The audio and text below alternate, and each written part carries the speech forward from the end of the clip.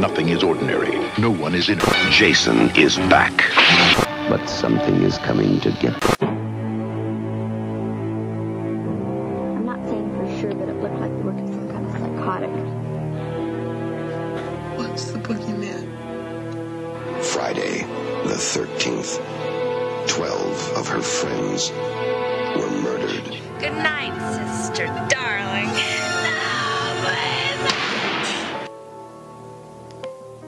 welcome again to the Hysteria Continues. Uh, this is um, podcast number two, and it wasn't so terrible that it was only podcast um, numero uno, so we're back for a second helping. So uh, thank you to everyone who listened to the last one, uh, and uh, thank you for coming back. Um, I'm joined again by Joseph, the head honcho for the Body Count Continues. Yeah, I don't want to be here today. You don't want I'm to be here kidding. today? No, I'm just kidding. I'm just kidding. Okay, cool, all right. Um, and also Erik from Dublin. Hello. Hi, Erik. Um, and I'm, of course, Justin from uh, the Hysteria Lives continues. I'm going to get confused with those two. Um, so I knew this was a bad idea. It's naming it "The Hysteria Continues." I know, I know. But anyway, I think this is all going to go perfectly because the last one actually turned out pretty well, didn't it, guys? Do you do you agree? Yeah, not too bad. Yeah. Yeah, Mhm. excellent, excellent. Um, I so, still don't think it represents my voice fully, but Well, I think Joseph is the same issue. Yeah, we'll, we'll, we'll get past that. We'll get past that. And I had noticed on the uh, obviously the Body Count Continues forums, people have been asking for a shout shout outs. So uh, we might do a few of those later. We shall see, um, and actually find out who's actually listening and pretending to listen. So, um, but I do um, have one. I'm going to the uh, end of the show if that's all right, though. Yeah, yeah, absolutely, absolutely.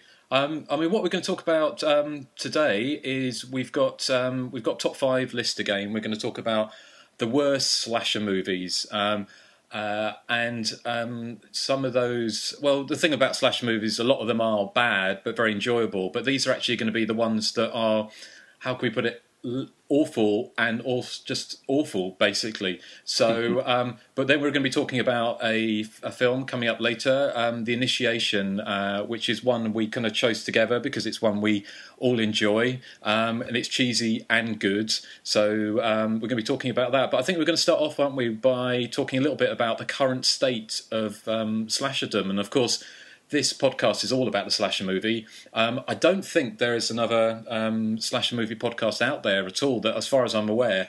Uh, we're number one, baby. We're number one. We're number one. Yeah, we're leading the way with um, with retro slasher flicks. So, um, so uh, shall I ask Joseph? What's your view? What do you think of this, the current uh, state of slasherdom? Well, um, I think my main problem with slashers today are the characters. I mean, you know, back in the 80s and the 70s, uh, you had all these genial characters who, you know, were likable. And today it's like a bunch of foul mouthed children uh, who are selfish and only looking out for number one, you know, would push someone down to get away from the killer. It's just, it's really hard to identify with a lot of the slasher films today. When, I mean, when you have to look at characters who are just truly despicable. So Yeah, no, I'd agree with. How about you, Erik? Yeah, I think that's really, really true, especially of the Friday the Thirteenth remake, which Now, I found there- w- was sorry, populated Erik. with the most horrible individuals. But sorry, There are- Joseph. Yeah. Mhm. there are a few films that use like despicable characters well. There's one that came out. Um, I don't know how I'm pronouncing this right, but it's uh, Ray Whale Watching Massacre. Have you seen that? Oh yeah, yeah. Now, this movie has like really despicable characters, but it like it puts a real a real good twist on them. Like for instance, like you don't know who's going to be the the the last person standing, and the last person standing is totally despicable, but they have this like undercurrent of like humor to it. It's just, you know, if they do stuff like that, it's okay, but you know, most of the time it's like characters you just you want to see die within the first five minutes. I think I think that's um, a really good point. I mean, what we've seen, well, at least for me, is in the last uh, five ten years, is the, the the better slasher movies coming from um, countries that aren't traditionally known for slasher movies, such as France, and I mean, with the Reykjavik Whale Watching Massacre is from Iceland, which I don't know of them doing any kind of slasher movies at all. Um, and you got them coming from Korea, South Korea and Japan and all sorts of different places. Um, but I agree with you, Joseph, and you, Erik. I mean, the thing that really I find um, a real shame about the modern slasher movie, a lot of them, not all of them, um, is a complete lack of um, characters to empathise with. Um, and we're going to we're going to talk about. I'm sure some of these are going to come out onto our worst slasher list, and I've I've certainly tried not to do just all um, modern slashers because there's a few real stinkers back in the 80s as well, which we're going to be talking about. But um, I I find it, you know, films where the um, uh, the cast just looks like they're from the OC. They're not really into it. There's no there's no kind of passion and there's no fun to them. I think one of the worst ones, which actually isn't on my list, but I it probably should have done, was the Train, uh, what was ostensibly the Terror Train remake, um, which is Train with Thora Birch. Have either of you seen that? No, I never got around to it. No. No, I, no, I have really, I have no real interest in checking no. that out. I mean, I'm glad actually it didn't become the Terror Train re- remake because it's essentially it's Hostel on a train. Um, but all the characters, including Thora Birch, who's ostensibly the final girl, is is just completely unlikable and just just a real pain in the ass. And you just want her to die. Um, and that's not the case with um, a lot of the classic era slash movies. Certainly with the um, with the Final Girls, with someone like Amy Steel or or certainly Jamie Lee Curtis, you wanted them to live. You were cheering them on. Whereas something like Train, you want her to be you know run over by the train within the first five minutes. Which well, if you notice that um, you know like a lot of old slasher films, like uh, you know My Bloody Valentine, they're populated with a lot of people who are like working class, and you can identify with them. And you know today it's like people from like Jersey Shore, you know, they put more gel in their hair than they do, you know, talking about human interests and stuff yeah. like that. Yeah, absolutely. What What do you think, Erik? Is I mean, what's your you know your views on this? Well, yeah, I mean, I blame you have to blame Scream for all that type of stuff. They were the first to bring in the sort of airbrush teenagers from the television and put them onto the, into the slasher movie. Um, the modern ones, uh, the only ones I tend to see are the ones that get released theatrically, which probably are the worst ones. I mean, the Nightmare on Elm Street remake was abysmal. Not as bad as the Halloween remake. Friday the Thirteenth remake, I wasn't mad on either. Um, one of the most recent ones, it's it was billed as a slasher. I still don't class it as one myself, but I really, really liked um, Death Proof, Quentin Tarantino's okay. movie. Yeah. I thought that was particularly good, and it, it, I mean, it had slasher type characters in it, even if it wasn't a sort of slasher type movie itself. Um, you were saying the best ones are coming from abroad. I mean, the, the two Cold Prey films from is it is it Norway or Sweden? It's They're Norway, from. Yeah. Um, they're particularly strong, I thought. Um, I mean, I know you like them as well, Justin. You give them quite uh, glowing reviews on the site. Um, the Descent was another one I really liked recently. Again, it's dubious as to whether it's a slasher movie. I'm just throwing it in there because you have it included on the Hysteria Live site. But um, for the major- majority of them are weak remakes or uh, originals filled with, as Joseph says, you know, obnoxious characters. And also there's the Saw series, which uh, again, I'm not sure if that classes as a slasher movie. What What do you think, Justin? Uh, uh, parts three to six, I thought were crap, so I, I, didn't bother going back to the last one last October. To be honest, I with with Saw, I, I really enjoyed the first one. I thought it was uh, you know creepy and fun and nasty and oh, lots of good stuff. But um, I saw the second one. I thought it was a piece of crap, to be honest. Did you? I, I quite liked the second one. I have to say. Well, I thought if, if, reading from what everyone else said after the second one and third one were okay, and there's a, a, few, maybe one of the later ones was was a bit of a you know a pearl in shit, but the rest of it was um, I just couldn't be bothered. It's is again with the Nightmare on Elm Street um, remake. I, I just couldn't bring myself to watch it. I almost have like um, a, some kind of allergic reaction. Uh, I was sitting there thinking, will I watch this? And I just thought, you know, I remember seeing the first Nightmare on Elm Street back at the cinema in 1985 Oh, you're not that old, surely. I am, unfortunately. I was 16 when I saw it, so that gives you a clue of my age. Yeah. But um, I'd snuck into um, to, to, an 18 film then. But I, you know, it it feels like it's sullying it, and it will, you know, by watching that, and I just don't really want to do that. So, um, but yeah, it's. I think it's kind of brings us on. I think this is something we're going to return to time and time again. But um, unless you've got anything else you want to say about, I mean, should we just sort of dive into our worst slashers? Yeah. Mm-hmm. Yeah, I'm so good to go. You're good to go. Um, yep. Do you want to do you want to go first, Erik? Okay. Um, you were saying that most of yours are for um, the modern era. I chose most of mine from the uh, classic era, mainly because I haven't seen a huge amount of the modern stuff. So I feel kind of bad for naming these ones because there are elements to them I enjoy. But uh, my number five is going to have to be the classic Savage Water from 1978. yeah. Um, Oh, yeah. It's a film that works, I think, is really great for a laugh in small bite sized chunks. Watching it as a 90 minute hole is quite grueling and, you know, it, it tests your patience. It's, I mean, it's lots of people in ill fitting hot pants going around pointing at things that the camera doesn't show you. Um, you've got see you got this endless sequence of somebody going into a makeshift toilet and other people wanting to use it and they can't and it, they're just obviously using up time. There's scenes where people are obviously fluffing their lines. Uh, they stumble over the sentence and go back to the start and you know they obviously didn't have the budget to go for a retake. It's um it's insanely inept but you know you have to admire them for you know getting off their asses and doing it. And as i said there's lots of fun to be had if you watch tiny fragments of it at a time, but not as a whole chunk. I would I would agree with that. How about you, Joseph? Uh, are we talking about my number five, or am I just Oh, talking about, Savage, Water. I mean, unless you unless it's going to um, appear in your. In Oh, your it's list. in my list. It's not number five, but uh, yeah, it's, it's really, really terrible. It's just Yeah. I mean, if you want one to, of the worst, um, one of the worst movies I've ever seen. Absolutely. I mean, if you want to hold off on it until you, you come to it, if you want to say, yeah, Yeah, Benny, I think we are going to we are going to sort of um, overlap with some of our things. There's certainly Yeah. a certain film by a certain um, Mr. Zombie might be up there at the top. Just so- mice. just might be up there at the top. Um, There's a chance. But but Savage Water for me, it's kind of it was a bit of a holy grail. I found it at Boot Fair, which um, in in British um, parlance, I mean that's kind of I think like a I don't know if you have them in America, but like a yard sale um, where everyone gets on a Sunday and throws open their boots and tries to sell all their crap. And one of the biggest pieces of crap there was Savage Water. Now, surprisingly, it's not on my list. Um, but it, I, all I know about Savage Water is it's kind of one of the first slash movies made in 1978, obviously before Halloween. Um, but it was so bad that it's never ever, as far as I'm aware, got it certainly didn't get a cinematic release in America. And I'm right in thinking, am I, um, Joseph? It never got a release um, uh, on tape. No, uh, there was. Uh, I, I spoke with Joe Bob Briggs once about it, and um, he said I don't remember the country, but basically some guy, you know, got a station wagon and had two people. He put a raft on top of the station wagon, and he had two people struggling to sell the movie in some third world country. And someone saw it and said, "Hey, you know, I own a theater. You want to screen this here? I, you know, I liked your publicity stunt, so uh, I think they screened it for like." Three people, and those three people probably walked out. So you know, Yeah, I can imagine.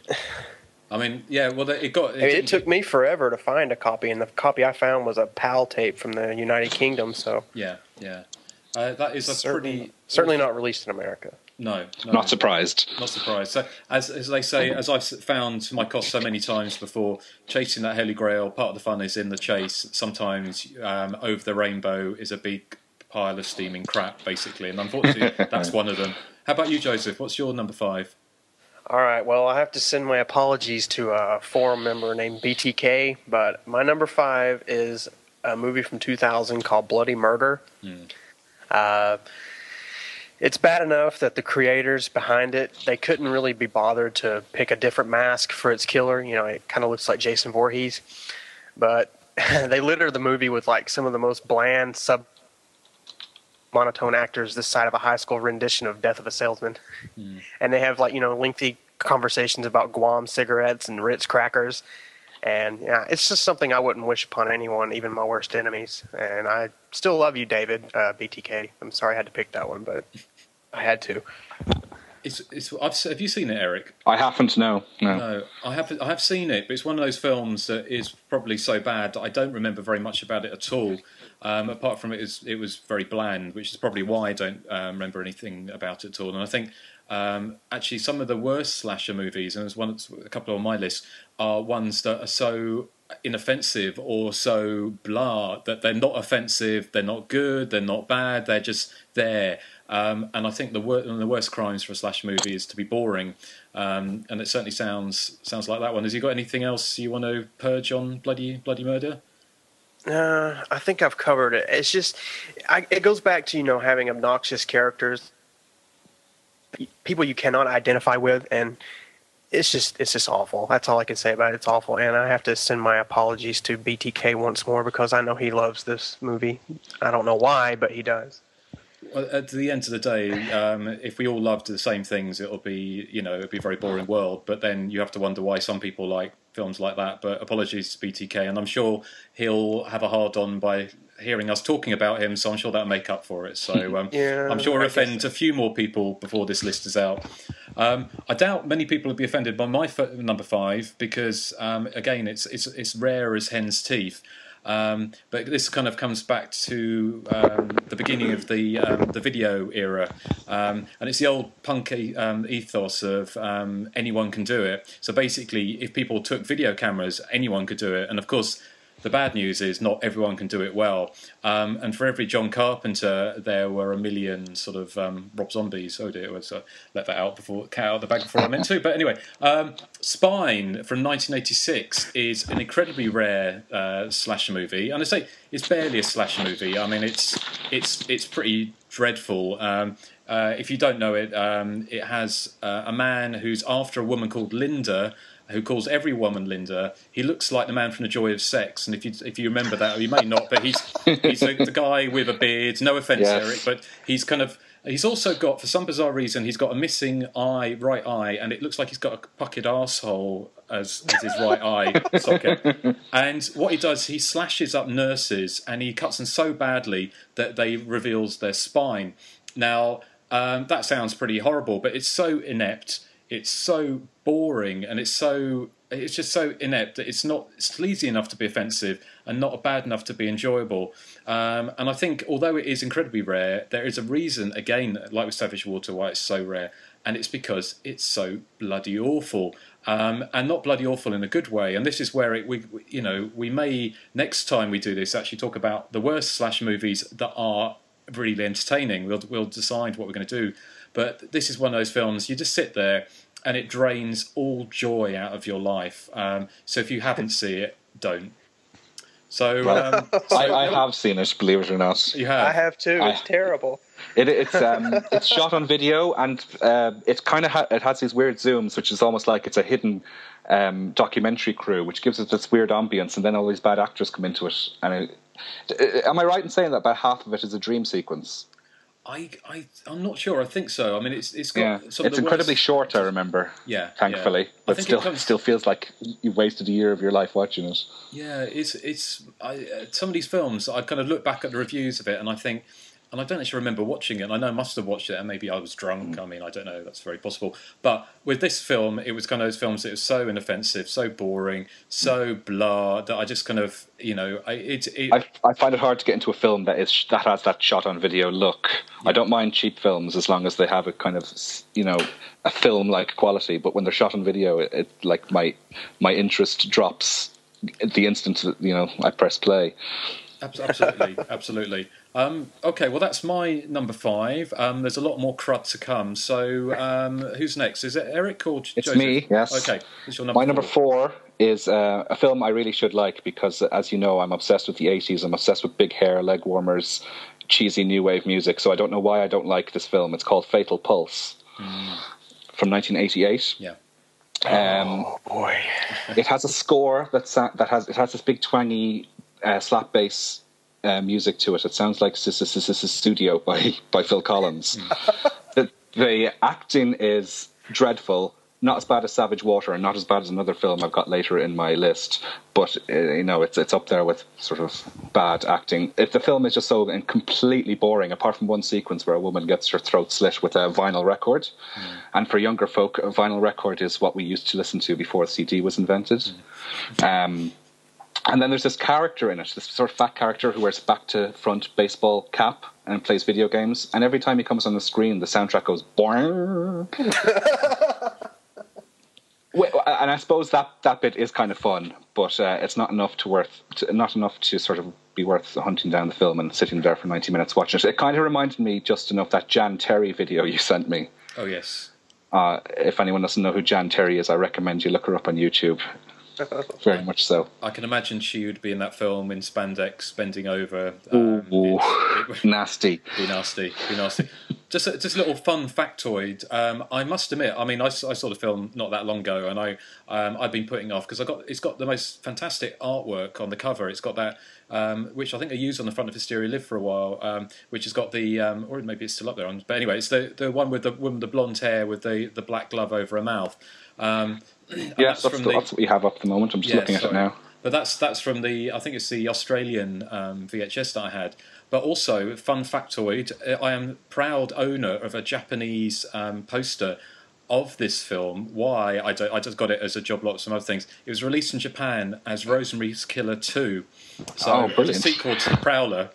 So uh, can you imagine if you'd watched The Prowler and you thought, "Hooray! It's a sequel to The Prowler," and then you got um, Boy, Yeah. Many, many, many apologies to Joseph Zito. So exactly. Yes. exactly. Can I Um, just clarify, uh, Justin? I've just had a look on your site, and it's not it's not your front um, page artwork. Sorry, my Uh, mistake. Yeah, no, I thought it was the older one. Yeah. Yeah, So yeah. Um, but yeah, that was that is a is a worthy um, number four. Um, I mean, we'll be getting through to our number two soon. But uh, Joseph, what's your number four?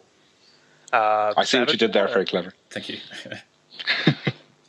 Savage Water again. Yes. Yes, Savage Water. Ah, okay. Uh, I think we've covered this, but you know, it, it looks like the cast was round up from you know the Mexican border. Uh, is filmed through like a muddy kaleidoscope kind of kind of camera, and I don't know what else I can say since we've already covered it. But uh, you There's know, a great bit of dialogue about karma or something. Yeah, that, uh, that goes on forever, and uh, it's obviously doctor, padding.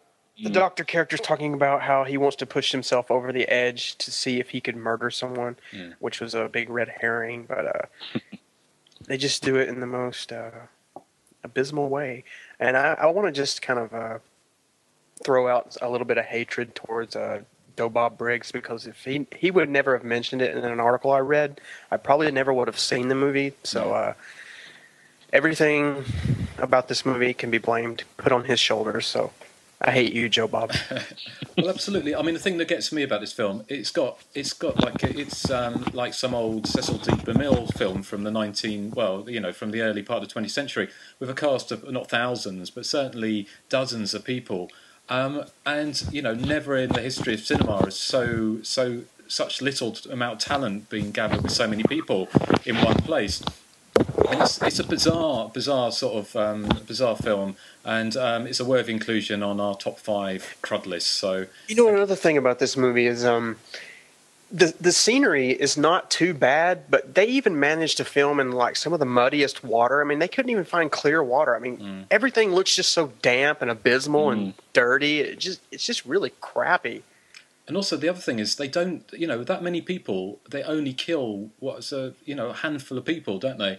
So And there's like 50 people in the cast already. I know, and the, the first one is killed, and like they're traumatized for about ten seconds, and then they all go around and sit around a campfire and sing some horrible song.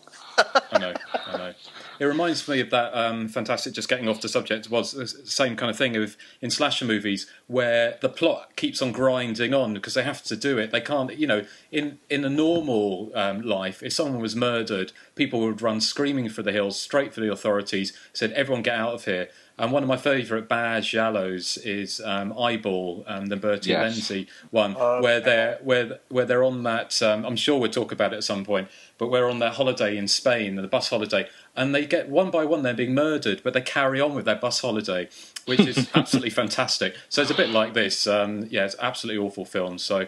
So um, on to my number five. It's another. I'm going to come on to some slightly better known ones, but it's another one that's not very well known. number four. Number, Oh, number four. Sorry, number four is um, is and it's not well known again for all the right reasons. Um, it's a Canadian slasher movie. I kind of guess it is a slasher movie called Skullduggery. Now, it must have been back in the early 80s. It was a good idea to uh, mix Dungeons and Dragons role playing with the idea of a slasher film. And the actual the, the idea behind it's not too bad. Whereas you have an obsessed teen who gets together with his friends, plays Dungeons and Dragons, and the consequences in the game he carries them out in real life. So people start dying. Um, so it would it sounds like it's a good good idea, and it was a good idea. But it is again, it's so joylessly done. The um, the lead character has all the personality of cancer, um, and it's well, he does. It's just hideous. It's it's mired in faux mysticism. Doesn't make any sense. Although it has got one great what the fuck moment, looking back to last week, where a character's running through a graveyard, trips, looks through a window into a church, and there's someone dressed as Liberace in a, in a red sequin jacket hammering away a tune on the piano. Um, so for that alone, it's it has some good things, but it's it's it is a joyless experience. And again, that's the reason why it kind of makes one of my my top um, five crap lists is because it is actually a very very boring, dull film, which is very muddled, um, has no coherency at all. Um, yeah, have you seen it? No, haven't seen this. It's been a long time. Uh, the Yeah. the one thing I remember is the Liberace scene. Uh, You can't. Forget Yeah, you're right. So- It's it's a bad movie. Um, I think its cardinal sin is just that you know it's put together well, but it's just very very boring. Yeah, yeah, exactly. I mean, this is. I think this is actually the um, the thing with our list is actually it's boring films. That's they can be offensive, they can be um, bloody, they can be campy, they can be cheesy. But if they're boring, that's when it. You know, that I think that's the the cardinal sin for a slasher movie. Okay, what, what's um what's our number three? Number three for me is uh, a film you intro- introduced me to, uh, Justin. Actually, it's uh, from do 1989. It's Australian. It's called Houseboat Horror, and it, it, this is another one uh, that's very much shot on video. And boy, does it look it! It looks like it was shot with the most inexpensive home video camcorder equipment they could get their hands on. Um, it's have you uh, have you seen it, Joseph?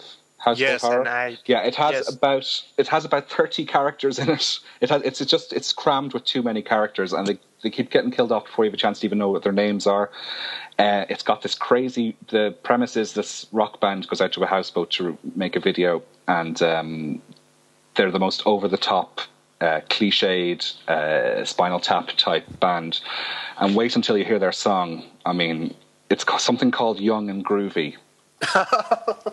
Oh yeah, I do. Can you remember it? now, the Um, only the only um, bonus for certainly for us over here in Europe, you mightn't get this reference, Joseph, is that with the lead one of the lead actors in it is was famous for being in the soap opera Neighbours, where he played sort of goody two shoes Justin uh, Justin Priestley. I was going to say Jason Priestley type character, and uh, he ends up. Uh, swearing, you see him in bed with a woman, and then he gets his head split in two with a machete, which uh, was a, was the only sort of bonus to watching this film. Well, the only thing I remember, I've chose to block the movie out, but the only thing I remember is that it had um, Alan Dale in it, and he went on. That's that's the guy, That's the Alan guy, Dale. that's the Yeah, guy, yeah. Is that the, is that the same guy? It He is, yeah. Now he's famous now he- and he's respected yeah, he now. went on- in- yeah, He went on to play uh, Charles Widmore on the show Lost. and he was So, in you know- Twenty Four, and he was Yeah, in Star, Star Trek Nemesis. He was in as well. He's yeah, he's made a, a good career escape? for himself. How did he escape with his dignity intact? I don't know. I have he- no, I have no idea. I don't think, he did I escape. think this, He didn't escape with his dignity. Uh, His dignity was left on a houseboat somewhere in the arse end of Australia, I think. I'm not sure this got released outside Australia, did it? I don't think they would let it through customs anywhere else. I think it's so bad, wasn't it? Yeah. It was awful, awful film. Because yeah, because Neighbours is um, it's still going. I mean, you, you probably luckily don't have it in America, but it's an Australian saccharine sweet. Actually, you like it, Erik, don't you? You outed me. I used you to- I outed used me to last love it in week the as America's yeah. Top model. Um, Kylie Minogue used to be in it, Joseph. If that's if you know who she is. Yeah, I know who she is. Yeah, um, and it was. I mean, it's very much of its time, but oh, houseboat horror, dear, oh dear, oh dear. It, It's was- a it good. It was good to see him being having his head split open with a machete because that kind of that Yeah, did, but uh, it, it, make that comes quite near the end, and you've got a lot of Yeah. dreck to stri- sit through to get to that point.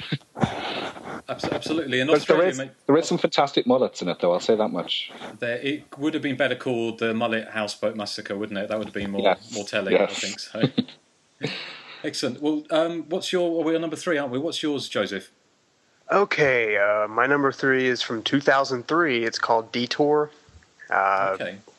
okay, it's basically the hills have eyes. It's kind of one of those variations. You know, people in an RV go out, cannibals try to kill them, but it makes the dreadful, dreadful mistake of having a character who's white who thinks he's the reincarnation of Tupac Shakur, but they also have the gall to make him the hero, so he doesn't die. So he spends the whole movie, you know, acting like Eminem on steroids, and he screams and he yells and he's obnoxious, and I just wanted to choke the life out of him, and he turns out to be the hero, and he saves the day, and the movie goes off, and I've wiped pretty much everything else from my memory, and I don't ever want to talk about it again. So let's move on. I haven't seen it. Have you, Erik? I did see it, uh, uh, but at, at the time it was released, and I have absolutely no recollection of it. Um, I remember a friend recommending it to me, and he said excitedly, "Let's watch it together." So we sat down to watch it. He was laughing and was screaming all the way through it, thinking it was brilliant, and I, my jaw was on the ground, going, "Oh my god, this is one of the most boring films I've ever seen," and I haven't spoken to him ever since. Uh, it sounds it's very very canny on your part, Erik. I haven't, I haven't seen it. It's not something I've heard of it, but it sounds like I dodged a bullet there. So um, you know, thanks for warning, and hopefully anyone who's listening now, we're doing you a, ser- service here. Uh, remember, we watch them, so you don't have to. But I know you probably will anyway. But um, We're masochists like that. Ex- exactly, exactly. My talking of masochism, um, my number three Oh, we go. is my Yeah, last. it's, it's just a Spanish supermarket story again. No, no, no, it's not a Spanish no. supermarket story. Um, but this is my last of the 80s ones. We'll be moving on to slightly uh, newer slasher movies in a minute. But um, is a, a Troma movie. Now, I'm not sure if it, and I think it was originally a Troma movie, which is Splatter University. Now, I really, really hated this film because I, for a long time, I wanted to see it because I think I saw a still, um, a really gory still of someone. Um, I think it was a co-ed lying with her with her guts spilled out um, in, a, in a magazine for years and years back in the eighties, and I thought, oh, that looks really scary and gory and should be really good. Um, but what it turned out was um, uh, before I knew about Troma, and I have to say I'm not a fan of Troma. Uh, there's a few things I've liked over the years. Uh, you know, Mother's Day is a pretty good film, but it's not really a Troma film. Um, but um, Splatter University is the worst kind of slasher movie to me. Um, it, as far as I'm concerned, it's released in two, eight- 1984, and apparently went out to. It was shown at the cinema. I've, I've actually got the the one sheet around somewhere. Um, it was released with 200 prints, so it went out to 200 cinemas um, back in 1984 in the, in the states. What anyone who watched it would have thought. I mean, it's it's it's got goriness and um, cheesiness, but it's so forced. It's kind of forced wackiness, faux outrageousness, um, and basically, it's got characters. Um, that you you just don't like, and the one single character you do like dies horribly. Um, it's just got it's just um, uh, thrill free. Uh, really, I just found it unpleasant, boring, and um, you know, uh, basically the antithesis of everything I liked about slasher movies. Uh, so there you go. That's uh, Splatter University for me. How about you guys? You've seen it? I Yeah, have. that one. Um, yeah. I I don't hate the movie, but I don't really like it. You know, I have a friend who worships the ground it walked on, thinks it's the greatest thing since sliced bread. Um, Have they been? I think my? I think my problem with the movie is, you know, like you said, all the obnoxious characters, you know, pretty much live, and the one character that you really want to actually make it to the end dies horribly, and it's just really mean spirited, and it's just not something I'd you know want to watch over and over. But it does have some you know funny moments. I'll give it that. It might be something I'll come back to at some point, but again, it's it's something I'm in no rush to see again. How about you, Erik? Have you seen it? I haven't seen that one. No, No, no. no. you do do yourself a favour. I, I do hate. I like you. I, I just can't stand Troma films. Um, the, the the stuff that's sort of typical of Troma. You know, Mother's Day is a good film, but uh, you know things like Class of Nuke 'Em High, I can live without. It's it's funny, isn't it, for for us? Well, I don't know about um, not speaking for you, Joseph, but for us who you know who love kind of cheesy horror movies, and Troma should be the the pinnacle of that, or you know the low point or the high I think point. the point but- is that they um, deliberately go out of the way to be as cheesy and stupid as possible, whereas the ones that we really like, that isn't their always their goal. That's what I was going to say. You know, a lot of the movies that I like, they're cheesy, you know, for the wrong reasons, and they don't mean to be. In Troma, you know, they go out and, you know, I'm going to be deliberately cheesy, and I just don't think that really works when you're trying. Mm-hmm. When you don't try and it just happens accidentally, that's when it, you strike gold. Yeah, I Abs- think. Absolutely, absolutely. Well, I think we're, we're coming up to um, the top two of, of Crud. Um, we are about to launch our number twos, and not in a Spanish supermarket style way. But um, okay, who's going to go first with a number two? I'll go first with my number two. Okay. Uh, this is one of the first films I ever reviewed for Hysteria Lives, actually. It's a film called Terror at Tenkiller. And uh, it starts with the words United Entertainment presents Terror at Tenkiller. And I find two things wrong with that statement one is entertainment, one is terror. this is easily, uh, well, I know I have another film to go, but this is easily possibly the most boring film I've ever had to sit through. It's it's got bad acting. Nothing happens in it. There's, I think there's, you see one sort of bit of tiny bit of action uh, towards the end where the really annoying lead actress finally gets her due. Um, sound quality is really bad. It reminds me of uh, you've seen Birdemic. It's Oh, like the sound quality in that where as the camera changes shot, the, the ambient noise in the background changes as well with it. So it's obviously done uh, sort of on the cheap. Although I'd have to say, I did like the lead actress who looks like Olivia Newton-John. She wears a, a dress that looks like her mother's best floral tablecloth for the first half of the film, and that was the highlight for me. And I mean, if that's the highlight, that's saying something. And the, the music was done on the cheapest keyboard, Bontempi Casio thing you could possibly imagine. Horrible, absolutely horrible. Have you seen this It's this? dreadful. It's dreadful. I, I have seen it, and um, again, it's one of those films that I've got barely any recollection of at all. But apart from it, it was, you know, I'll never go back near it again. Um, and you thinking, you think when they when they put these films together, and they must have thought, you know, what kind of film were they thinking they're going to make? You know, when you're making a slasher movie or a thriller or a horror movie or anything, you know, within any kind of realm of, of the thriller slasher horror genre, you think you've got to make it try making it exciting. Um, I mean, a film like Nail Gun Massacre, which is very cheesy and entertaining, it's certainly not scary, but at least they're attempting to make it scary. Whereas a film like Terror at Tenkiller, they it's almost they they're so bored by it, and if they're bored by it, we're going to be bored by it. Um, and I think I think you know, uh, there's you know, it's one of the reasons why the slash movie pretty much died in the late '80s was because the marketplace was flooded by by crap like this. Yes. Um, I mean, they're, they're, they're going for, um, well, I think they're trying to create sort of well rounded characters. So we have the two girls sitting in a room endlessly talking about how crap their boyfriends are. And it's like, it's like listening to, you know, a, a Lily Allen song or something, which It's is a movie equally, I've equally as torturous, if you ask me.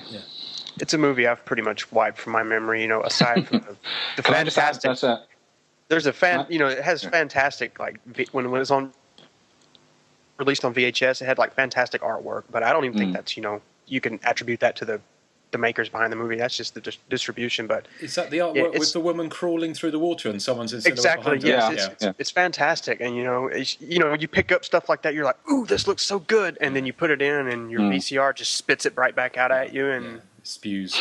yeah. can, I, can I just add that, uh, you know, I've suffered from my art this week. I've watched four of my five films again this week just to make sure I hated them as much as Oh, I really? thought. That- that the only the only one I haven't watched again is my number one film because I don't own it and I never want to own it. Yeah, yeah. Well, I think I, I don't. Did you go to such extrmes?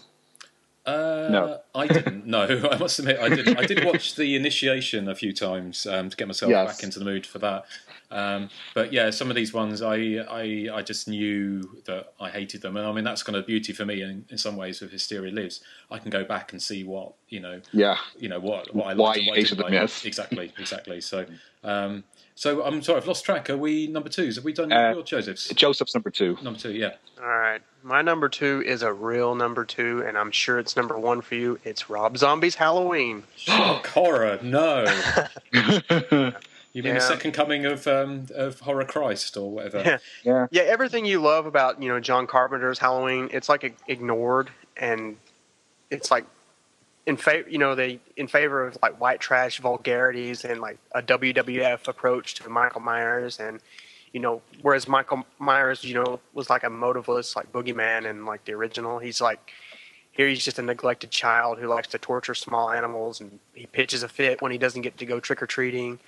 And I always thought the movie was like a Lynyrd Skynyrd video with knives, and even though that sounds better than what Rob Zombie did with Halloween. But uh, yeah, it's just it's truly terrible, and I hate it. I really, really hate this movie.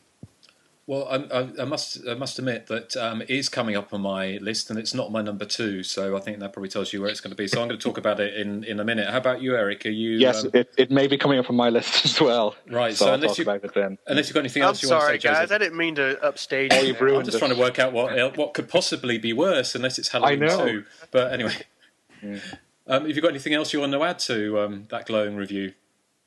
Uh, I think I've said it all. It's terrible. I mean, you know, I, I I went in with an open mind. I mean, anyone if you know if they have the balls to remake Halloween, you know, you have to go see it just to see what happens. And the, you know, the entire time I was in the movie theater, I was just sitting there. My jaw was like hanging out, and I wanted to leave, and I almost left a couple times. But you know, I try not to leave movies if I can help it. You know, I paid for them. Uh, so I just sat there and I endured, and I'll never do it again. Um, I hate this movie. That's all I can say. I hate it. Yeah, yeah.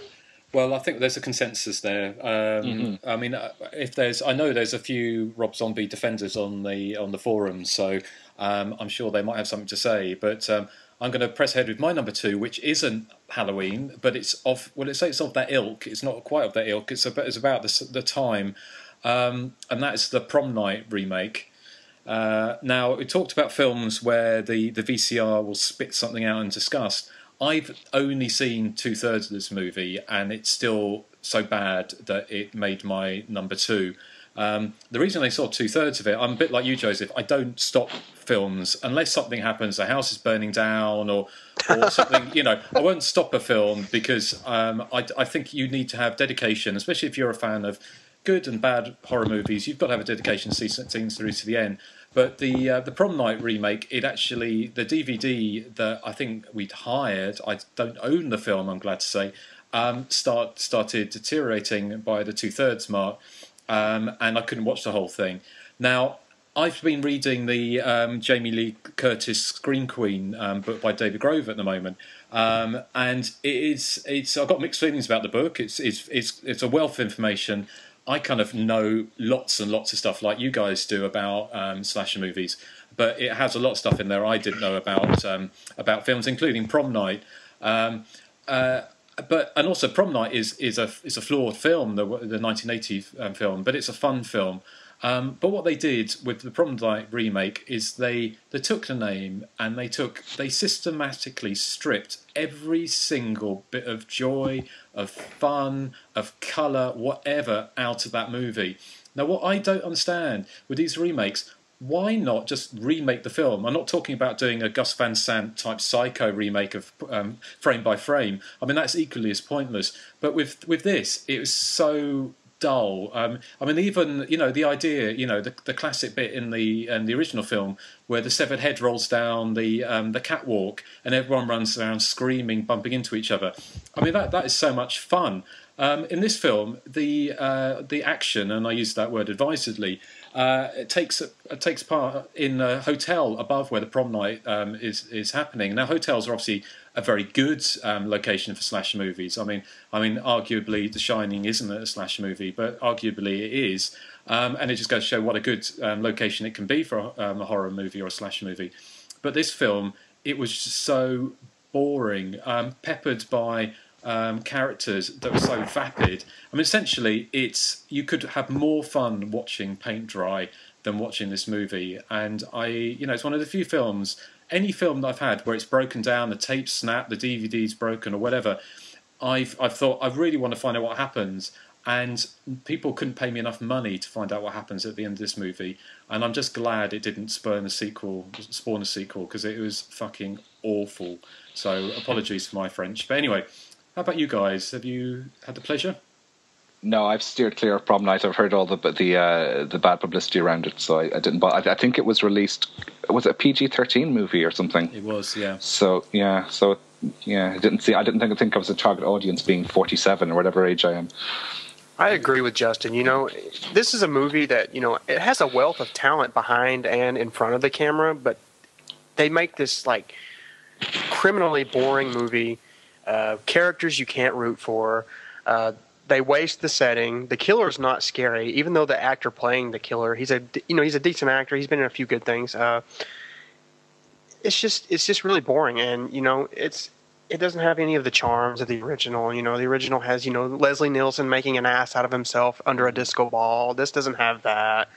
uh, obviously, doesn't have Jamie Lee Curtis because uh, you know.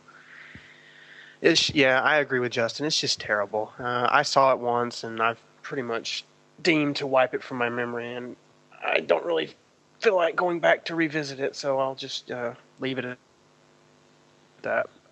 Well, I mean, I, you know, personally, I mean, you know, I agree. I mean, it's, I think it was a PG-13 film, and it made quite a lot of money. I can't remember how much, but it was, you know, um, tens of millions of dollars. I mean, made Number made a lot of one at the box office on its opening weekend, I believe. Yeah, abs- absolutely. And I mean, uh, just because a PG thirteen doesn't necessarily mean it has to be a bad film. It's just suspense doesn't mean a higher rating. I mean, you know, uh, MPAA rating. Um, it- but it's just, you know, you just think, and, and also the the thing about this film was that I think it was directed. I think I'm right in thinking directed or written by J. S. Cardone, who was the man behind the Slayer. Which See, is, that's what I was talking about. You know, you know, it has a lot of talent, but they just make this movie that just it's just so boring, and there's nothing to it. Yeah, I mean, with, with a lot of these films, I mean, when you you know read about, sp- certainly modern films, I mean. Um, a lot of the slash films that we love, a lot of them were made, um, you know, by intercon- independent companies who did what they wanted to do. They didn't have, you know, people going, you know, demographic this, demographic that, watering things down. Whereas with these big budget, teen orientated slash movies, and again, nothing wrong with being teen orientated, but the problem is when you've got the money men saying, well, actually, we need Brittany Snow in this, and we need that happening, we need that happening. Don't take out all swearing, all sex, all violence, and then you're ended up with a husk of a movie.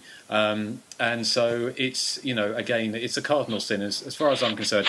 Is a boring slasher movie is a slasher movie I don't want to watch. So that's my number two, and I think we're coming on to the glorious number ones, the top of the Yes. crud. So um, is it Erik? Are you first? Yes, uh, Yeah. my number one, as uh, we've given away already, is Rob Zombie's Halloween. Um, I have many issues with this. Uh, just uh, Joseph has discussed many of them, but um, I just think the what Joseph said at the top of the show about modern slashers being populated with really obnoxious, horrible, unlikable characters. Never is this more true than this film. And I think the biggest thing they get wrong in the remake is making Laurie the most horrible individual that you want to see get killed. And in Halloween 2, I want to see her get killed even more brutally. I want to see her decapitated. And that's not the way I felt when I saw Jamie Lee Curtis in the same role back in the 70s and early 80s. And I think they go for the they go for the easy route. Of like Michael Myers became a psycho because he was bullied at school, and his mother and father were sort of these redneck um, losers who beat him. You know, it's the same old cliche, and it's the same thing they did with with um, you know explaining Freddy in Freddy's Dead: The Final Nightmare, and they, I think they kind of imply it with Jason in some of the later Friday the Thirteenth sequels. Um, oh, it's just hideous, and um, the only reason it's Halloween and not Halloween two. Well, I, I should really put have put both in my top five because I think they're two of the worst films I've ever seen. But I thought I just I just pick on one, you know, let him off easy. I'm not a Rob Zombie fan at all. I saw House of a Thousand Corpses and um, Devil's Rejects. Wasn't pushed on either of them, I have to say. Um, and I thought Halloween was rubbish. Yeah, abs- absolutely. I mean, it, it kind of makes sense if I, if uh, if you don't mind me, Joseph, coming in here and we'll do yours as last because obviously yours is a mystery one. Um, is that okay with you, Joseph? Yeah, go ahead, man. Yeah. Well, it's only because um, just following on what Erik said about Halloween. I mean, both of you said pretty much what I what I think, and then it's no secret that Halloween is probably my favourite ever film of all time. Um, and there, there's this, you know, the one thing I've, I will give to Rob Zombie is he didn't do the Gus Van Sant route, which was basically just remaking Halloween shot for shot. Having said that, if he had, it probably have been more fun. Um, the thing that kind of um, uh, you know got got me was that I remember at the time hearing how awful it was and thinking, well, you know, again to give give this man his props, um, as as the singer Nick Cave says, if you're going to do a cover version, you need to get a good cover version. You need to get inside the song, destroy it from the inside out. And that's what Rob Zombie has done with Halloween. But unfortunately, in such a ham-fisted, wrong, um, you know, wrong on every single level, he took something that was artful, graceful, scary, um, relevant, and turned it into a cartoon um, with the subtlety of, a, of you know, like a forklift truck. I mean, it is just just awful, awful. As as Erik was saying, populated by people you don't you don't like. Um, and again, reading coming back to uh, David Grove's books about Jamie Lee Curtis. And she said that um, she had loads of problems worrying about if people liked her. She didn't think she was pretty and all this, all these kind of things. But she saw when she the reason they picked her, and they couldn't really work out why they picked her for this film because Jamie Lee, because Laurie Strode was um, needed to be vulnerable and for the audience to care about her and want to protect her. Um, and she said when she saw the film, people were shouting at her character. They wanted her to survive. Whereas in this film, like you said, um, Erik, I wanted her dead. You know, I just wanted it to be the quickest slash movie in in you know ever made. Uh, Michael Myers to kill her. Um, and this whole idea that coming in and demystifying Michael Myers again, that's the whole point. He's the shape. He's the boogeyman.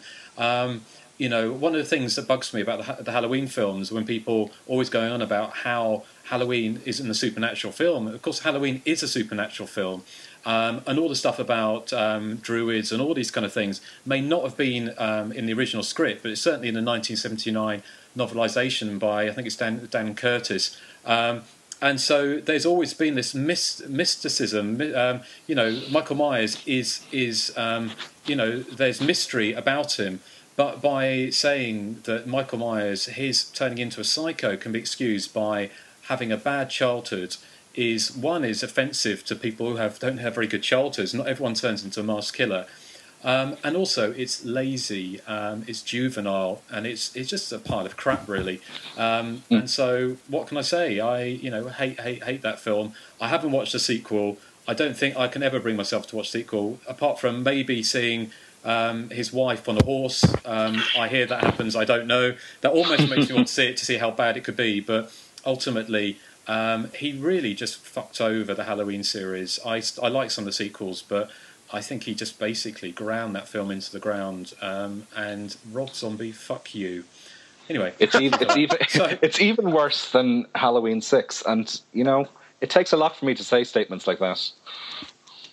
Absolutely, absolutely. I mean, it's yeah. I mean, what what more can be said about that film? Um, and and the thing that I you know I think is is very you know upsets me is it made so much money at the box office. Um, well, I contr- I contributed to that, Justin. I'm afraid because I went to see it twice. Yeah, so did I. I didn't see it twice, but you know, I. I put was my- well. I went to see it once on my own accord. Then I was dragged to it a second time by a friend. Incidentally, the same friend who made me watch Detour. Blimey. Um, Are still so so with I, him? I I contributed twenty euro I to that fund. Really, I really, really hope this guy's not. No, yeah, well, um, I mean, Rob Zombie, I'm sure he's a lovely guy. Um, as they say, sometimes fans don't make good movies, um, and uh, his heart's in the right place. It's just his brain. It is. He does come across as. I've, I've watched the behind the scenes documentary of uh, Devil's Rejects, and he does come across as sort of a genuine guy, and he's I'm sure doing he's- his best. His sure films just aren't for me. Yeah, same here. I mean, there's an audience for them, and let's face it, we are probably, you know, uh, not exactly old gits, but we're certainly getting that way. And what, We are. What's, what's going to, you know, what, um, you know, emos or whatever the young people are these days. I sound like I should be sucking a Werther's original. Um, um, what, you know, what are their, you know, we can't second guess what they would like, but ultimately, I can't imagine anyone with an out. I mean, I can imagine a 15 year old sitting there in a Metallica t shirt might like it, just in the same way as back in the day with Fangoria, it used to be, you know, um, heavy metal's fantastic, you know, Halloween Forever, Friday the 13th rules, you know, that Oh, kind of yeah. stuff. But, it, you know, for anyone with an ounce of um, taste or maturity, or even, you know, a love of cheesiness and campiness and fun, it's just not for not for them. So, um, so yeah. So anyway, um, that's our love letter to Rob Zombie. Um, let's finish on uh, Joseph's and his mystery number one. All right, here we go. Um, the worst slasher film I've ever seen is a movie from 1992. Uh, no one's seen it. Well, actually, people have seen it, but it's called The Weekend It Lives. And actually, it wasn't released until 2002 as Axe'Em. So, Ooh. my number one is a movie called Axe'Em. All right. this movie single handedly makes a mockery of the Emancipation Proclamation. Uh, it's basically, you know, about a bunch of uh, uh, not to sound racist here, it's a bunch of black people who got together with six hundred and fifty dollars, and they uh, do a lot of breakdancing, dressing like DJ Jazzy Jeff, and they go off to the woods, and you know somebody comes around killing them. You know, it sounds pretty good, but this movie is done. Eh, think of Savage Water, like someone filmed Savage Water, held it under a mud pit for like two hours, and then put put it on the projector. This is what Axe'Em is. It's mm-hmm. basically the most inept movie I've ever seen. The sound quality is like. That's what you know when someone's talking. You mean like this sounds like. podcast? So no. Yeah, exactly. uh, um, well, you know, like I said, there's like a lengthy scene. I- I think it's like 15 or 20 minutes long to pad out the running time. It's basically a bunch of people breakdancing on the street. Uh, the video quality shifts violently throughout, like grainy to even grainier. And you know, like I said, if you can hear any of the dialogue, like you know, you have better hearing than I do. But obviously this is the worst movie I've ever seen, and I think a few people on the forum can attest to that. Have you, either of you seen it? I haven't I seen have it. no, I haven't seen it, but I am um, intrigued by the breakdancing elements.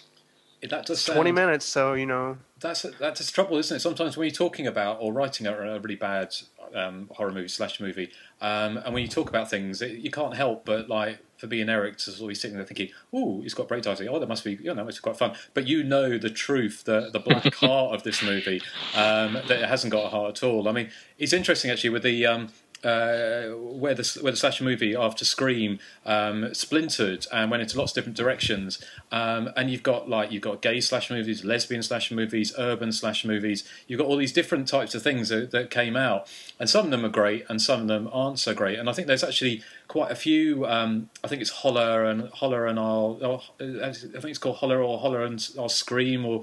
Um, and there's quite a few black sort of urban slasher movies. Um, most of them I've seen are pretty pretty bad, to be honest, and I haven't seen that many. And I must count my blessings. I haven't seen Axe'Em, um, and it's probably not one I'm going to rush out to see, to be honest, Joseph. Oh boy, Yeah. I hope. I certainly hope not. It's just. It is. It's- it it's is an definitely abomina- worse than It's an abomination.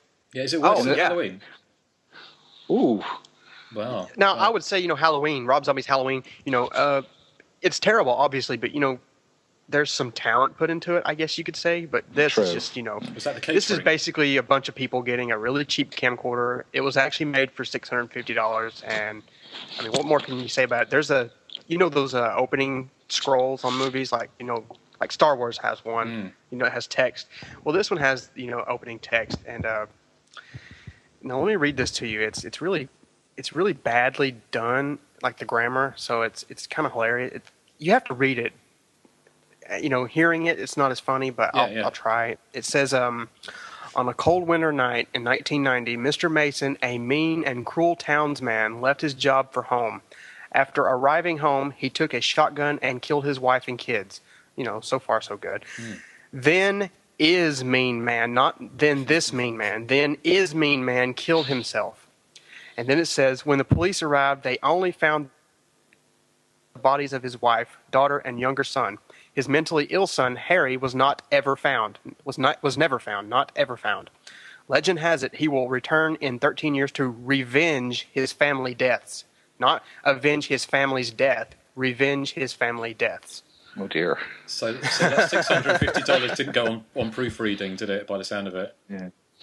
Um, you know, whoever made this movie, you know, obviously wasn't hooked on phonics or anything, so uh, Well, it's. It's I just think terrible. It's awful. I mean, if you if you really want to see the worst movie, I'm telling you, this is it. If you can sit through it, you are a bigger man than I am. And Well, put it this way: it's not going to be on. Um, be watching it tonight, but I think I think hopefully people out there, whether you agree with us or don't agree with us, um, and if you don't, I mean, we we, had, we didn't talk about it last time, but um, we're not sure how many people are listening to this podcast. Say it may be just our grandmothers. I don't know. Might be a few more people, but if my you do- grandmother's dead. So, so are mine. So, so mine. It's from the other side. I mean, that's that's how few people are listening. We're actually having to um, get a you know hotline to God. But if if people are listening and you don't agree with what we're saying, or you do agree with us, then drop us a line either through the um, the Body Count Continues forums. Um, just Google Body Count Continues, um, and you'll find that, or through Hysteria Lives, um, and just drop us an email and just let us know, you know, what you think. If you if you will, if you're lucky um, or unlucky, we'll read out um, what you say online. And of course, now we're setting ourselves up for a fail here because no one's going to write in because probably no one's listening. But we'll see. So hopefully they are. or or the one person we don't want to write in will, and I won't mention any names, but that's usually how it goes. What Rob Zombie, mm-hmm. Rob Zombie? George Bush. No. He's listening. I know. He's listening.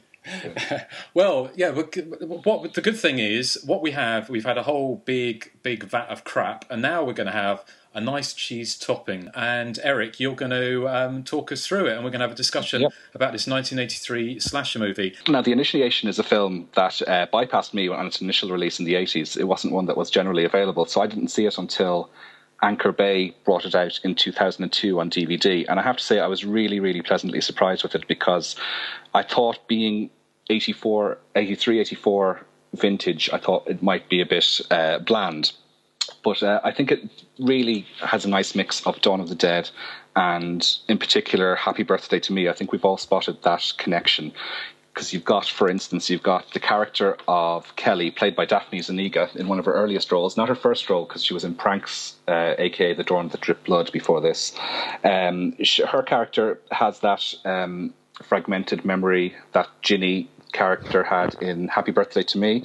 She also is kind of a red herring throughout the film. There are scenes where Kelly looks into a mirror and she sort of becomes sort of blank and almost trance like. Uh, I think they're possibly setting her up as maybe the killer. Um, and then, of course, there's the, the uh, twist ending, which is pure happy birthday to me. Not uh, probably not as extremely ridiculous, but certainly up there. Um, it's quite gory, actually. I was quite surprised. Um, now, the version you saw, Justin, in the 80s, I didn't see it, as I said, uh, was trimmed. I've got details of what was cut out here. I can talk about that in a second. Um, and it's got elements of cheese as well, of course. I mean, there are some fantastic outfits in it, being the mid 80s. Uh, in particular, Marcia has this pink blouse that. Um, Hmm, would, would would be well at home in Sorority House Massacre. Let's just say that. Yeah. So, um, yeah, as I said, it's a film I really, really like. What do you think about it, Justin? Um, it's funny actually. Look back at my review uh, I did, um, and go think. Yeah, it was it was harsh. It was quite harsh. Yes, it was. Um, I mean, a lot of the reviews I, I wrote um, on Hysteria Lives, the earlier ones, when I picked the kind of the ones I had access to. Um, I mean, some of them are, well, how can I say, it, you know, pretty bad. Um, and um, and also I kind of had a, had a real kind of difficulty working out how to judge films because I loved cheesy slasher movies, but I was trying to measure them against like Halloween and A Nightmare on Elm Street, and then I kind of realised actually in some ways that's a bit of a mistake because it should be really um, measured on the ent- entertainment um, uh, sort of uh, quota. Uh, and I watched um, the initiation again. I've watched it probably four or five times. Um, um, and as Erik was saying, I mean, you come to it in a minute, talking about the um, the UK release, which I was thinking was on CIC Video in the UK, which had pretty much every bit of gore cut out of it. Um, I really liked it. I really thought it was good fun. It was it was cheesy, um, creepy. Had a few scary bits in it. Well, not really scary, but a little bit scary. Um, and I think just before we go on, I think we'll say I think we do have to probably spoil it to talk about the ending, just in the same way as Happy Birthday to Me um, mm-hmm. is uh, we we spoiled it last time. So if you if you don't want this spoil, then stop listening now and come back to it once you've seen it. Um, but I think, um, uh, what about you, Joseph? What's your what are your views on this film? Oh, I love the initiation. Um, this is a movie I saw, you know, probably ten or fifteen years ago. I rented it from a place called Movie Gallery, and um, you know, I think the lurid cover art kind of drew me in. It had the hand and the candle, and, and yes, I was going to talk about that. I mean, how did uh, they get away with that? If you if you look at the if you look at the box art, it almost looks like it almost looks pornographic. Mm. But you know, it was in the horror section, yeah. and I really like the, the artwork. It's the dripping wax that does it. Yeah. Well, and, and the hand, you know. Yeah. but anyway, very, very um, long so, you know, body. Yeah. I rented it, and you know, first fifteen minutes, you know, I was pretty much into it. You know, it was a little slow, but you know, the mall, you know, there's like death, a death here, a death there. You know, all the characters are really likable. Uh, there's lots of cheesy stuff to like, you know, the fashions, the outfits, the hairstyles, and then, you know, outside the mall, you have this. Uh, I'm going to quote Justin here, and in his review, he talks about uh, the glamorous assistant with the big glasses. Yes. Uh, do you remember if I'm talking about Justin? Yes. Um, yes. You have that, Her, and then you also. Yeah.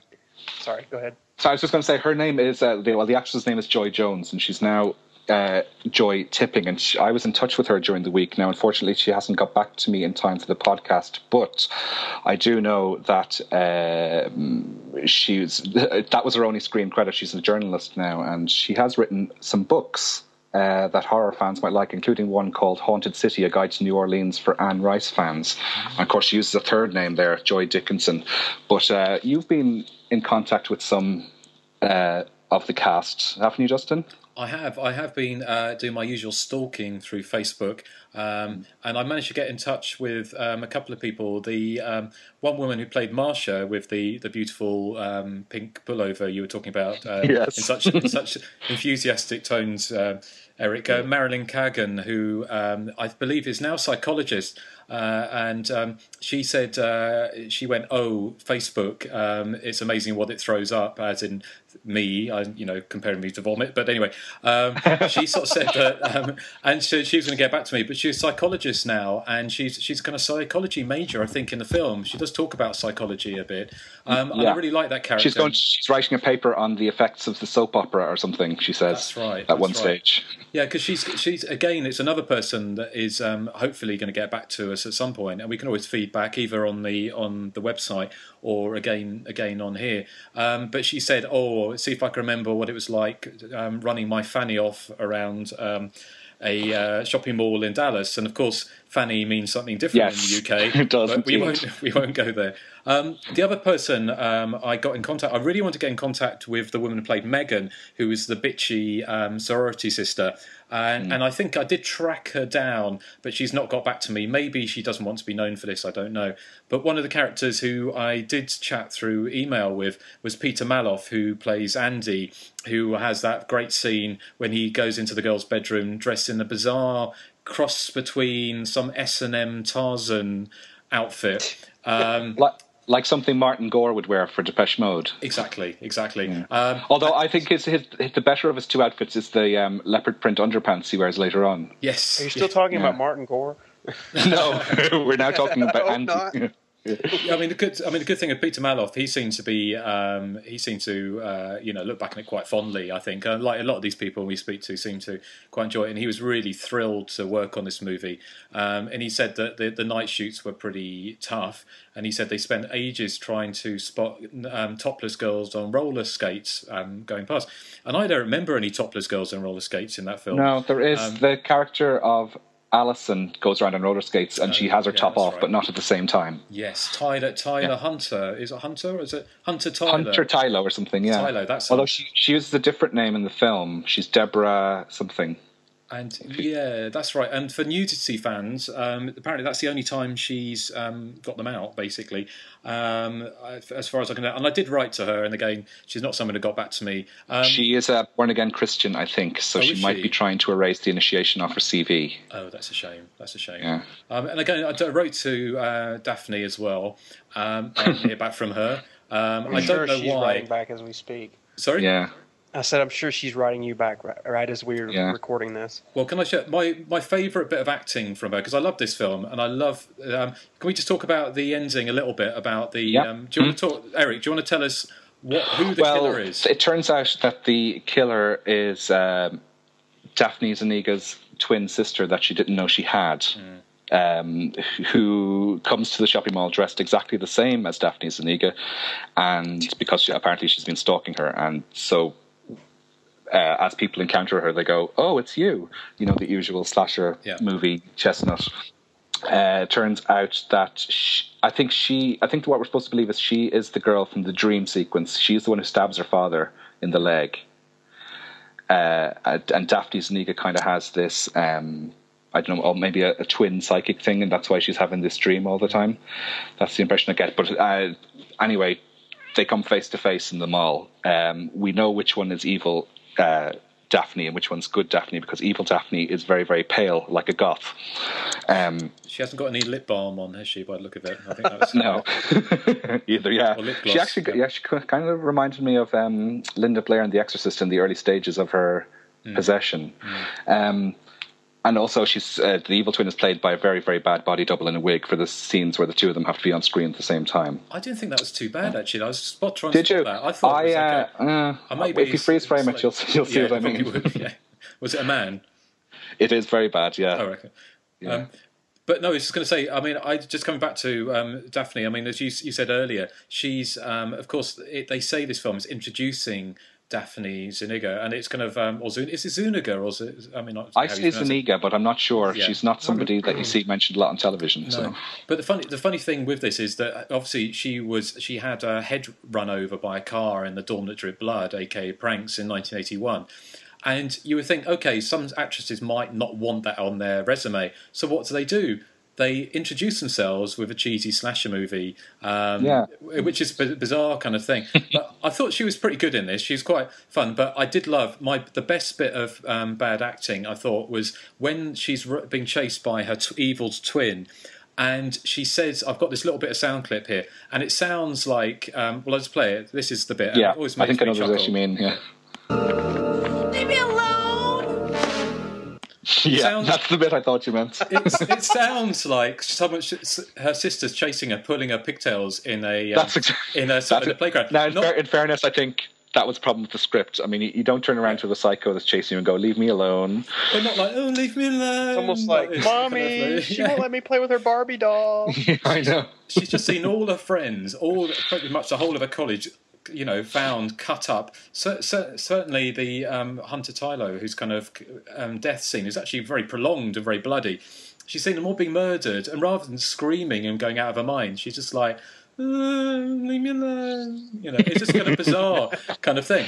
Um, Speaking speaking of Alison's prolonged death, that was one of the things that was uh, severely truncated Yeah. for the UK VHS release in 1986, Yeah.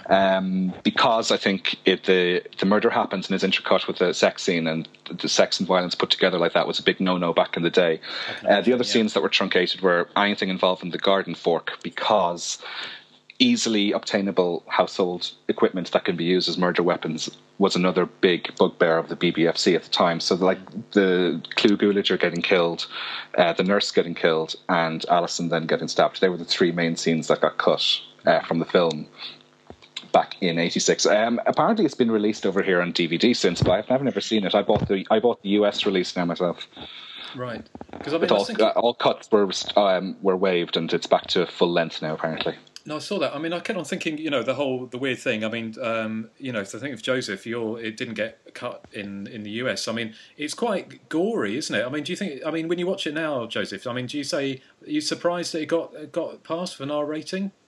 Yeah, definitely. Um, there's a lot of blood, a lot of you know outlandish death scenes. You know, uh, it wasn't like Happy Birthday to Me. You know, where it got cut a lot. You know, Because I, I did wonder actually, because I think back in the midst of time, uh, there, there was all these rumours about certain films that got um, passed for an R rating, and then they just bunged the film out um, uncut with an R stuck on this it. This one seemed to escape uh, scrutinization. Um, I don't know how, but you know, But it, it did. yeah, it it's, did. it's quite gory in places. Well, I thought, spe- especially the with the Hunter Tylo um, death scene. I mean, that is, Right. you know, it's very bloody and it goes on and on and on. Which for most slasher movies, you don't get that kind of. Um, certainly, you know, classic era ones, they're not lingering in the kind of death scenes. They tend to be quite quick. Even in Friday the Thirteenth, they're even though they're very graphic, um, and the burning, it's there's very much quick cuts, and um, so it's not that kind of gloating. Well, it's not really gloating, but it was it was. Yeah, I was surprised how how gory that was. Um, and just going back to what you're talking about, Joseph, about the BBFC, and this is one of the big things was that um, they didn't like if you could, um, uh, you know, you could sort of uh, imitate something. And I was just thinking with the, the garden trowel. I mean, is it the kind of thing that you're going to take out on the town with you for a fight? Is a garden trowel, or are you going to be a little, a little old lady who watches the initiation with her with their grandchildren, and then going out planting daffodils and then going on a killing spree? it's it's just not that likely, is it? But this was back in the eighties, and obviously they had uh, Yeah. things. And of course, it never got a cinema release here. Um, this, I think, this was uh, said in um, when I was doing Teenage Wasteland. I was looking at this, and I think this was released right at the end of 1984. And what I said was a good symmetry about this was that the fact is obviously um, we talked about um, uh, you know Clu being in it, but also uh, Vera Miles, who of course played Marion Crane's sister in Psycho. So it has a kind of um, symmetry that you've got Vera Miles appeared in Psycho, and then she appeared in the Initiation. But as I said in the book, um, Hitchcock didn't have a scene with um, someone dressed as a giant penis, but that Oh, might have made Psycho even better. Who knows? Or a new wave band with an incredibly hyperactive keyboard player. Absolutely, absolutely. And I do. Did either, to, I'm sorry. Go ahead. No, go on, Joseph. Oh, I was just gonna say, did either of you guess the ending? No.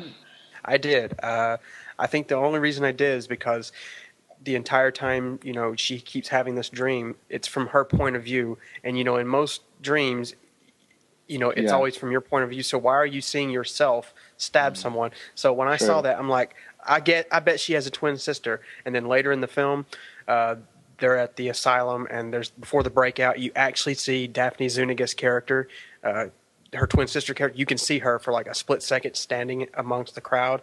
Right. And I picked it up, and I said, I knew it, Oh, I knew can you, it. Can I you actually it. see her face? Yeah. Yes, you can see All everything. right, because okay. there is a close up of somebody clenching their fist and banging their Go fist back, against their uh, thigh.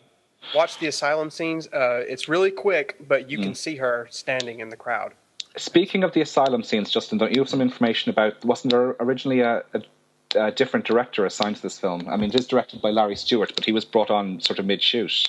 That's I believe. right. Yeah, the um, uh, Peter Maloff, um, and also the guy uh, I can't remember the one of the other guys, the one who got the um, his throat cut. Um, he someone sent me some answers that they got, um, and he's talking about this. That there was a different um, director who they said was like Roman Polanski, um, which I find quite hard to believe that Roman Polanski would uh, direct something like The Initiation. Obviously, it wasn't Roman Polanski.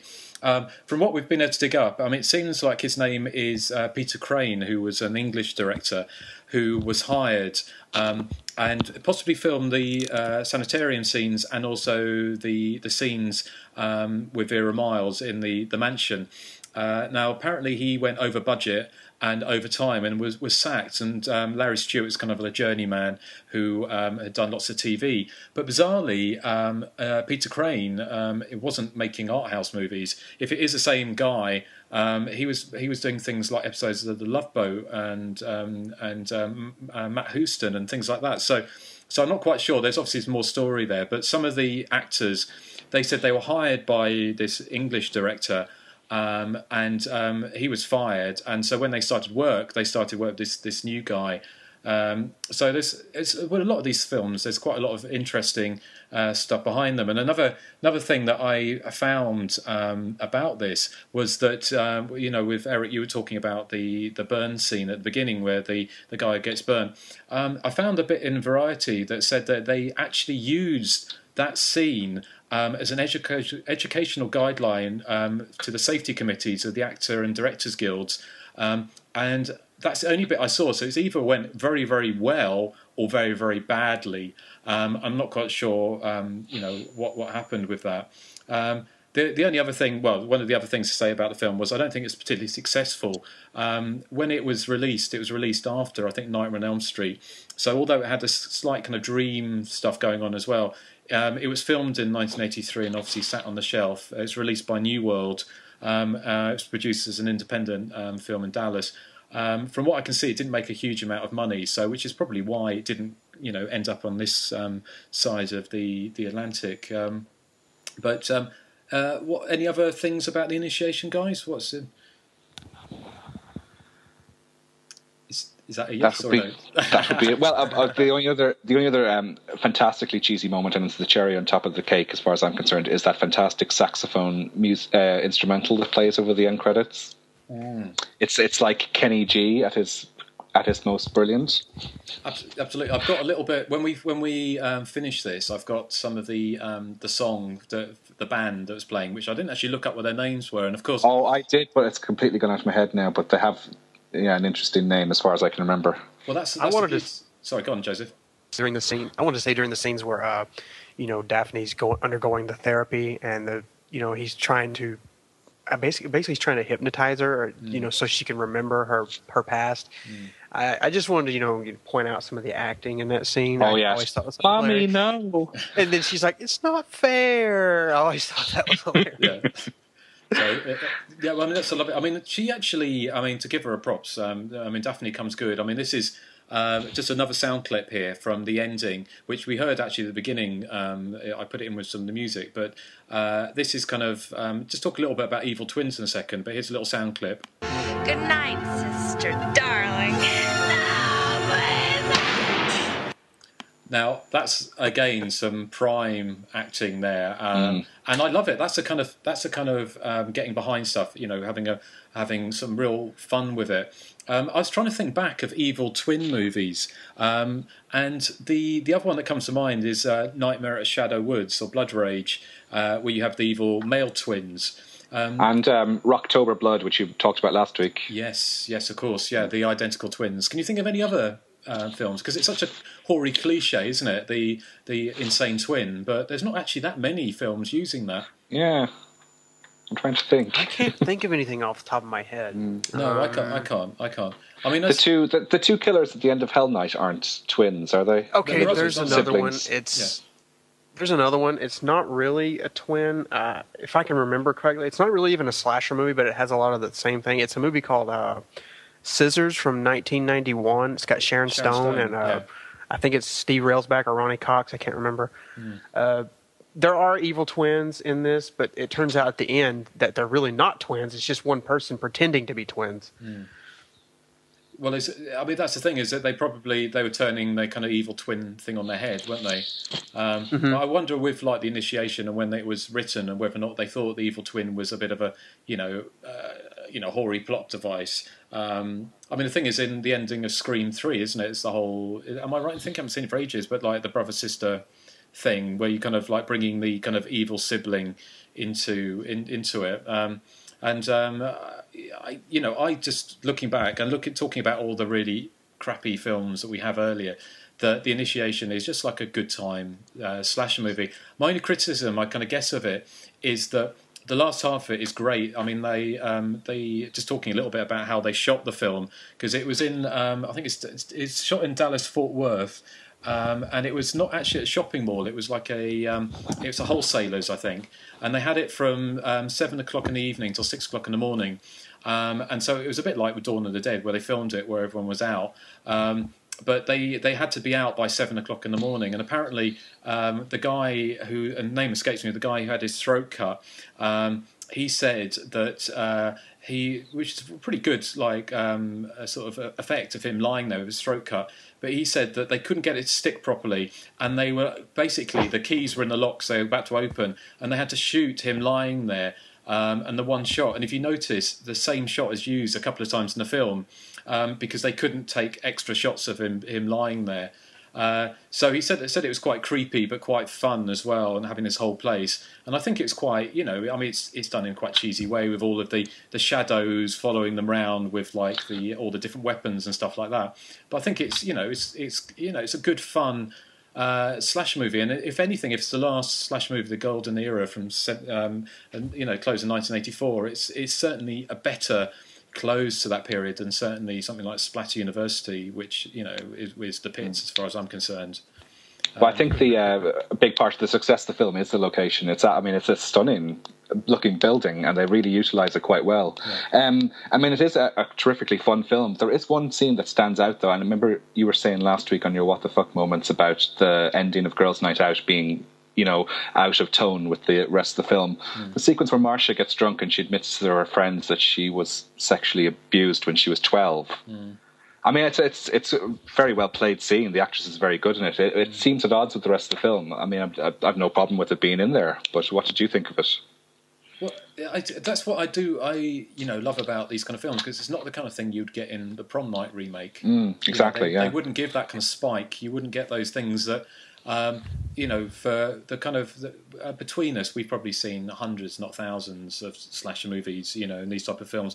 But sometimes you get those curveballs that you can be sitting there, you know, watching a film um, for all the cliches. And of course, these films are very, very cliched, and that's part of the reason we like them. You know, the idea of the story being retold time and time again. It's it's popcorn horror. It's fun. But sometimes you get those little spikes which really do sort of take you aback. And again, that's that's one of them. Um, you know, you have to question: is it is it appropriate? I kind of guess for a film of of this um, nature. And but I, you know, I mean, uh, that kind of stuff. Anything that kind of raises it out of the norm, I think, is you know, is Well, I think that interesting. they successfully like Sh- Marcia's already a likable character, and I think they make her you know very sympathetic with that scene, and you really don't want to see her die. I think which we've come, ultimately you she know, does. yeah. I think we've come like full circle in this podcast because mm. you know it goes back to like the callousness of and like obnoxious characters like in the Prom Night remake. You know, mm. their big scene is like, oh, I can't find my diamond clutch. You know, and you know, mm. in the old slasher films, you know, they talk about human things that you know you can identify with and you can you know.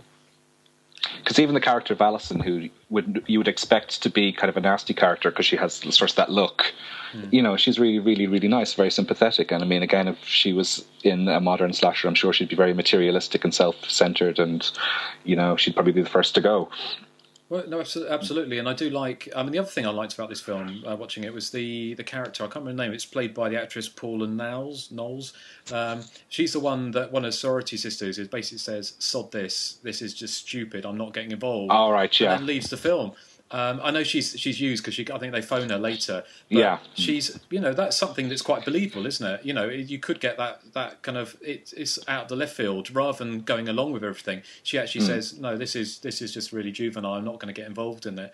So having those little um, um, you know sidewinders, I think is good. I mean, the only thing that I think is um, in in a shame is the the fact that um, Heidi um, uh, Joy's character doesn't turn up, and it'd been great if she'd been the killer. That would have been even better, wouldn't it? It would- if she actually, turned now I up, think of it, that would took be her brilliant. glasses off, and then sort That of you know, been great. and- She yeah, and had a even mask killed him on. with her glasses. Yeah, she pulled her face off like at the end of Happy Birthday to Me, and it was definitely Zig- Zuniga underneath, or the other way around. It's um, her evil twin. Then she pulled her face off, and it was Heidi underneath. Hi- that would have been great. That would be terrific. Yeah. So- but um, yeah, it's a, it's a fun film, um, and um, yeah, I asked one of the characters. I actually asked um, Peter Maloff. I said, "What's it like talking about a film? Were you expecting to talk about this film thirty years later?" And he said, "No. Why am I?" Um, and I think that's as good a place to end it as anywhere. Because As- you have a stalker on Facebook. That's why. Exactly, exactly. And I, I almost caught, I, I, um, one of the people actually, Paula Knowles' character, I kind of, I was looking at her photo and she looked like the woman, the actress, and she wrote back to me and said she's not, she's a veterinarian in California, and it wasn't her at all.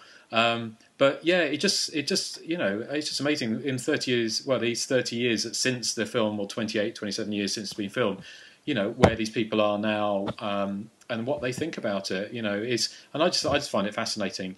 Um, and hopefully, when we've got some more of these, uh, some of the interviews, we'll publish some of them. So if you're listening to this, you know, keep an eye on the websites to find out a bit more about what people thought about uh, making an initiation. So, um, is there anything else you want to add, guys, or shall we wrap it up? I think that's it. Yeah. Bef- before I wrap things Yeah. up, I'm going to uh, do a little bit of spamming for my friend, uh, my best friend Nathan Johnson. He's got a new blog dedicated to slasher movies. It's Very uh, good at this too. It's called I Have an Axe to Grind. Um, it's at http axe to grinds horrors.blogspot.com.